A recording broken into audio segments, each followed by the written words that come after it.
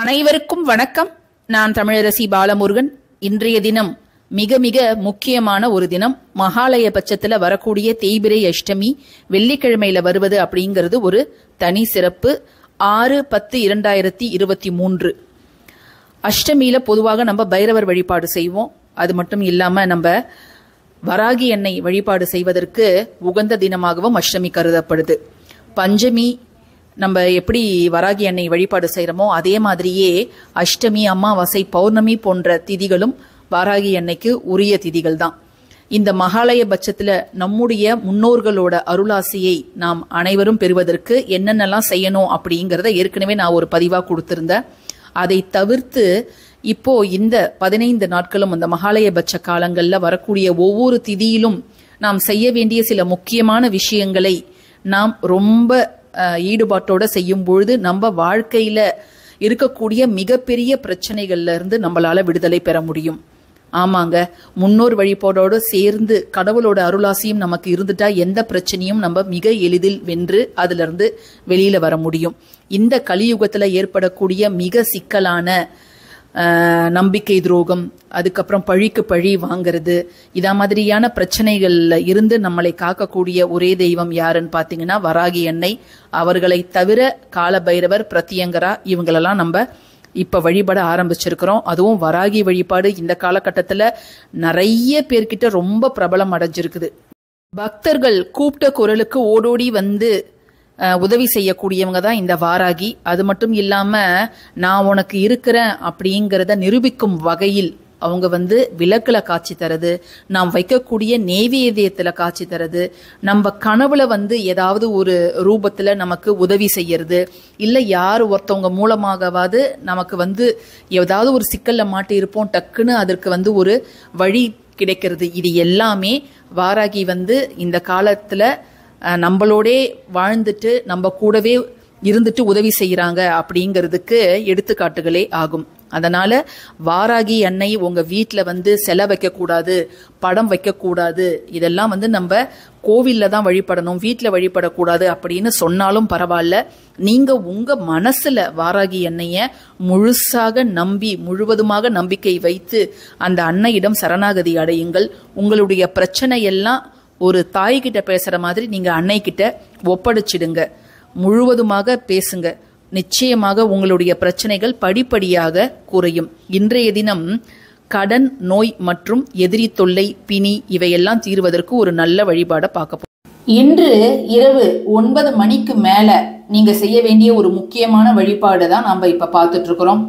இந்த வழிபாடு எதற்கு செய்யணும் அப்படின்னு பார்த்தா நம்ம கிட்ட இருக்கக்கூடிய தீவை தீயவைகள் கெட்டவைகள் கெட்ட எண்ணங்கள் கெட்ட அதிர்வுகள் அல்லது மற்றவங்க நம்ம மேலே வச்சிருக்கிற அந்த கண்திருஷ்டி மற்றவங்க நம்ம மேலே வச்சிருக்கக்கூடிய பொறாமை பார்வை ஏக்க பார்வை அதனால நம்முடைய உடல் நலம் மனது எல்லாம் பாதிக்கப்பட்டிருக்கும்.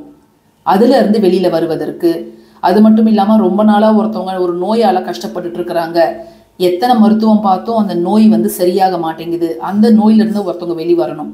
இல்லை ஒருத்தவங்க தொழில் செய்கிறாங்க பயங்கர போட்டி. எதிரி தொல்லை பயங்கரமாக இருக்குது எப்படா நம்மளை வந்து கீழே தள்ளலாம் அப்படின்னு எல்லாம் வெயிட் பண்ணிட்டு இருக்கிறாங்க. அப்படின்னா அவங்க செய்யலாம். ஏகப்பட்ட கடன் இருக்கு. எங்களால் அந்த கடனை வந்து அடைச்சிட்டு வெளியில வரவே முடியல அப்படின்றவங்க அவங்க வந்து இதை செய்யலாம். அதுக்கப்புறம் எப்பொழுதும் ஒரு பயம் பதட்டம் எப்பொழுதுமே நான் வந்து ஒரு நெகட்டிவாகவே எனக்கு தோணுது பாசிட்டிவாகவே நான் தோண மாட்டேங்குது. எப்போ எதை பார்த்தாலுமே எனக்கு ஒரு விதமான பயமாக இருக்குது ஏதாவது ஆயிடுமோ ஆயிடுமோன்னு எனக்கு வந்து பயமாக இருக்குது. அப்படின்னு ஒரு மனநிலையில் இருக்கிறவங்களும் இதை நீங்கள் செய்யலாம். இதுக்கு தேவை கொஞ்சம் உப்பு கொஞ்சம் மிளகு ஒரு தேங்காய் சிரட்டை கொட்டாஞ்சின்னு சொல்லுவோம் இல்லையா? அது வந்து காய்ந்த நிலையில் இருக்கணும். அதை வந்து நீங்கள் எடுத்துக்கோங்க.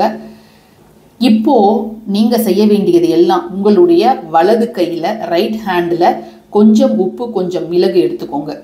உங்கள் வீட்டில் வராகி எண்ணெய் படமோ அல்லது சிலையோ இருந்துச்சுன்னா நீங்கள் அபிஷேகம் பண்ணுற பழக்கம் இருந்துச்சுன்னா நீங்கள் அதை பண்ணலாம். இல்லை படம் மட்டும் இருக்குதுன்னா பூ போட்டு அதற்கு தீபம் தூபம் எல்லாத்தையும் போட்டு அதற்கு முன்பு அமர்ந்து நீங்கள் செய்யலாம். இல்லை என்கிட்ட படமும் இல்லை சிலையும் இல்லை அப்படின்னாலும் பரவாயில்ல. உங்கள் மனசில் நீங்கள் வராகி என்னைய மனதார நினச்சி வணங்கி மனமுருகி நீங்கள் வேண்டிக்கோங்க. ஏன்னா இந்த கடன் பிரச்சனைனால நிறைய பேர் தங்களுடைய வாழ்க்கையை இழந்துடுறாங்க நிம்மதி இல்லாமல் இருக்கிறாங்க. அதே மாதிரி தான் நோய். ஆளாக அவங்க இருப்பாங்களே தவிர தினம் தினம் சித்திரவதையை அனுபவிக்கிறவங்க எத்தனை பேர்? நோயினால் சில பேர் அனுபவிக்கிறாங்கன்னா மனநோயினால் நிறைய பேர் தினம் தினம் செத்து செத்து பிழைக்கிறாங்க. அந்த பிரச்சனையெல்லாம் தீரணும் எனக்கு அப்படின்னு நீங்கள் பண்ணலாம். அது மாதிரி வழக்கு இருந்தால் வழக்கு சீக்கிரமாக தீர்ந்து போகணும் அப்படின்னு தீர்ந்து ஒரு நல்ல சாதகமான முடிவு வரணும் அப்படின்னும் நீங்கள் இதை செய்யலாம்.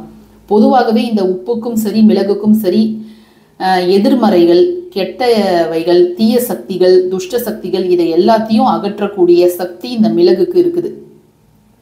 அதனால தான் நம்ம இதை ரெண்டுத்தையும் வச்சுக்க சொல்கிறோம் இப்போ கோவிலில் கூட நிறைய பேர் உப்பு மிளகு வாங்கி கொட்டுவாங்க வேண்டிக்கிட்டு.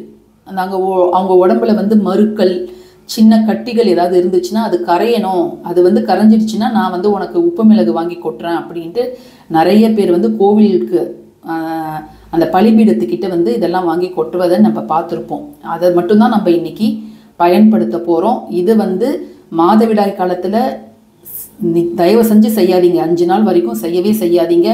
அசைவம் சாப்பிட்ருந்தா செய்யக்கூடாது. அதை மாதிரி பிறப்பு இறப்பு தீட்டு அவங்களும் இதை செய்யவே கூடாது.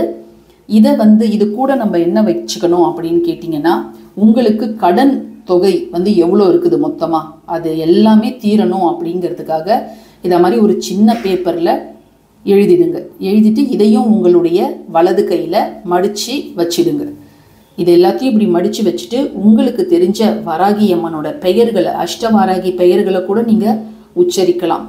ஓம் மகாவாராகியே போற்றி ஓம் லகுவாராகியே போற்றி. அதை மாதிரி நீங்கள் மகிஷாசுரோட மகிஷாரோட வாராகி சிம்ஹாரோட வாராகி அச்வாரோட வாராகி லகுவாராகி வாராகி நான் எட்டு பெயர்களை நீங்கள் உச்சரிங்க. இதை அப்படியே கையிலே வச்சுக்கோங்க.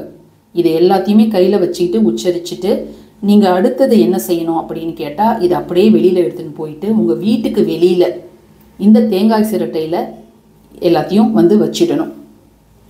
இப்போது இந்த மூன்று பொருளையும் என்னுடைய வலது கையில் மூடி நான் வந்து நல்லா வேண்டிக்கிறேன். வேண்டிக்கிட்டு இதை மாதிரி இந்த தேங்காய் சிரட்டையில் நான் வந்து இதை போட்டுடுறேன்.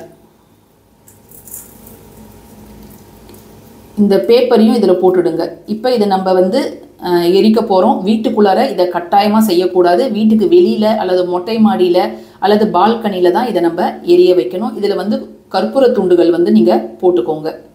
ஸோ நம்ம வீட்டுக்கு வெளியில் வந்தாச்சு. வெளியில் வந்துட்டு நம்ம இந்த கற்பூரம் ஒரு பெரிய பீஸ் எடுத்துக்கோங்க. இல்லை டேப்லெட் மாதிரி இருந்துச்சுன்னா ஒரு ரெண்டு மூணு மாத்திரை வச்சுடுங்க. அந்த கேம்ஃபர் சாதாரண கேம்ஃபர் வச்சுட்டு நம்ம வந்து இதை எரிய வச்சிடலாம். எரிய வச்சுட்டு மீதி இருக்கிறது எரிஞ்சதுக்கு போக மீதி இருக்கிறதெல்லாம் நம்ம மறுநாள் காலையில் எடுத்து கால்படாத இடத்துல வந்து நம்ம கொட்டிடலாம். இந்த பதிவு உங்களுக்கு பயனுள்ளதாக இருக்கும்னு நான் நினைக்கிறேன். பயனுள்ளதாக இருந்துச்சுன்னா கட்டாயமாக லைக் பண்ணுங்கள் ஷேர் பண்ணுங்கள் நம்ம சேனலுக்கு சப்ஸ்கிரைப் பண்ணுங்கள் தேங்க்யூ ஃபார் வாட்சிங் திஸ் வீடியோ நன்றி.